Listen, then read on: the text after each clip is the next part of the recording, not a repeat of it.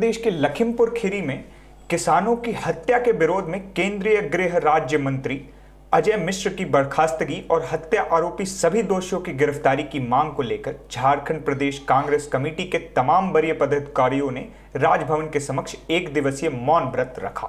कार्यक्रम में प्रदेश अध्यक्ष राजेश ठाकुर, ग्रामीण विकास मंत्री आलमगीर आलम, कृषि मंत्री बादल पत्रलेख, कार्यकारी अध्यक्ष शहजाद अनवर सहित झारखंड कांग्रेस के प्रदेश प्रवक्ता और कार्यकर्ता मौजूद रहे। मौके पर मंत्री आलमगीर आलम ने कहा कि कांग्रेस पार्टी किसी विशेष समय पर अपना विरोध दर्ज नहीं करती, बल्कि किसानों के साथ बीते 11 महीने से खड़ी है। सुनिए, क्या कहा कांग्रेस के राजेश ठाकुर, जो प्रदेश अध्यक्ष हैं। कांग्रेस कह रही है कि जब तक ये तीन काला कानून वापस नहीं ले लिए जाते, ये किसानों के लिए डेथ वारंट है। जिसको आपने आंदोलन जीवी कहा, जिसको आपने टुकड़े टुकड़े गैंग कहा, जिसको आपने प्रायोजित किया, बात कहाँ तक आप पहुँची, ये देखने वाली बात है। गृह राज्य मंत्री के बेटे द्वारा जो कुकृत किया गया, वो पूरे देश में उससे किसानों में आक्रोश है और वो आपको पूरे देश में देखने को मिल भी रहा है। अब जब हमने जाँच की, मांग की है तो जो महकमा आपके अधीन डायरेक्ट आता है, आप गृह राज्य मंत्री हैं तो कैसे हम न्याय की उम्मीद करें जब पाँच से छः दिन एफआईआर होने में लग जाते हैं और वो डायरेक्ट आरोपी हैं और उसके बावजूद भी उनकी गिरफ्तारी नहीं होती है, वो टीवी में बाइट देते हैं, मीडिया में चलते तो शंका पैदा होता है कि उन पीड़ित परिवारों को न्याय देना और साथ ही इनकी मंशा क्या है?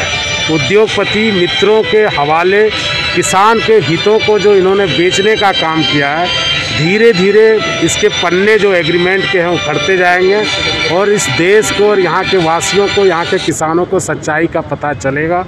कि इन्होंने भविष्य का सौदा कर दिया है अन्नदाता के साथ खिलवाड़ किया और देश कभी इन्हें माफ़ नहीं करेगी। लगातार केंद्र सरकार के दमनात्मक रवैये का विरोध करते आ रहे हैं। पिछले दस महीने से किसान आंदोलनरत हैं। कोई सुनने वाला नहीं है। पहले किसानों के आंदोलन को कुचलने के लिए पूरी ताकत प्रधानमंत्री जी ने लगा दी। अब किसानों को कुचलने के लिए उनका गृह राज्य मंत्री का बेटा पूरी ताकत लगा करके किसानों को कुचलने का काम किया।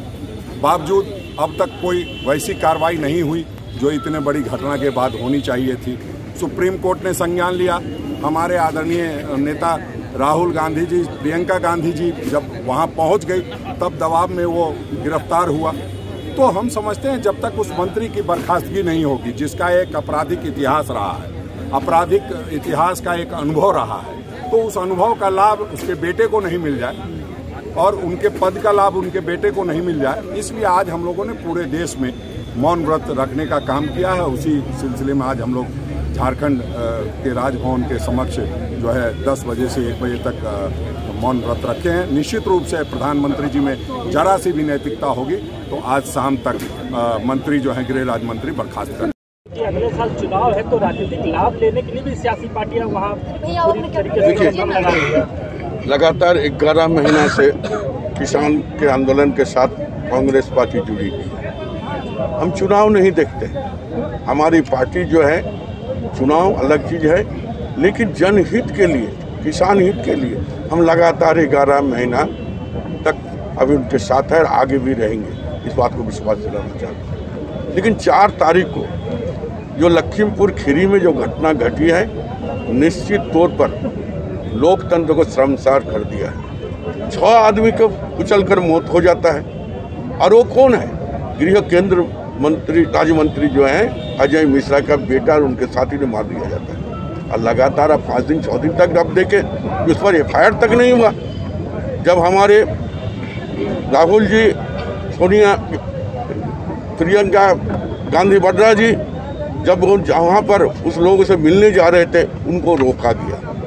और यहाँ से भी, हमारे यहाँ से झारखंड से लेकर दूसरे राज्य से लोगों भी वहाँ कुछ करने जा रहे थे, उसको रोका गया है। तब जाकर उनको मिलने दिया है। तो कहीं ना कहीं लगता है कि आज़ादी हम पाने के पश्चात लोकतंत्र को मज़बूत करने की जो हम लोग कड़ी रखे थे, ये भारतीय जनता पार्टी आने के बाद लोकतंत्र के गला घोटने की जो काम कर रही है, और लोगों को नई नहीं मिल रहा है।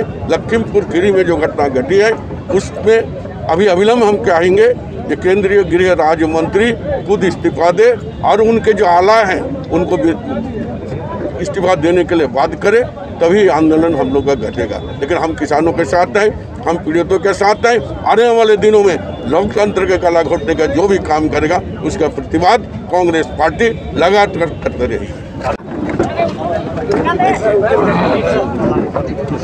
दृश्य कहाँ से शुरू होता है? गृह राज्य मंत्री का बयान आपने और नहीं तो एनडीटीवी ने दिखाया उसको देखे होंगे आप पूरा देश ने देखा। कि गृह मंत्री क्या बोल रहे थे? किसानों के क्या आंदोलन कुचलने की बात कर रहे थे? आंदोलन कुचलने की बात कर रहे थे। आ, उनके बेटे ने आंदोलनकारियों को ही कुचल दिया। हम मौन रहकर आज कांग्रेसी जन पूरे देश में मौन रहकर संदेश दे रहे हैं हम केंद्र सरकार को, भाजपा की सरकार को, कि बहुत हुआ। संवेदनहीनता बर्दाश्त नहीं करेगा देश। संवेदनशील बनिए। लोगों को बचाइए, लोगों की सुरक्षा दीजिए। लोगों की मांगों पर विचार कीजिए, किसानों की मांगों पर विचार कीजिए। किसान से ही आज भी, आज के दिन में भी, जबकि जीडीपी में कृषि का जो ये हिस्सा है घट गया है। बावजूद रोज़गार का सबसे बड़ा स्रोत अगर कोई है इस देश में तो किसानी ही है। किसानी। आ, उसको आप किसी तरह से जो तीन कानून जो बना करके किसानी को कृषि को ख़त्म करने की साजिश कर रहे हैं वो गलत है। इसीलिए किसान आंदोलनरत हैं। किसानों को मदद करने की ज़रूरत है देश हित में। धन्यवाद, मैं अनुशील ओझा और आप देख रहे थे दृष्टि नाव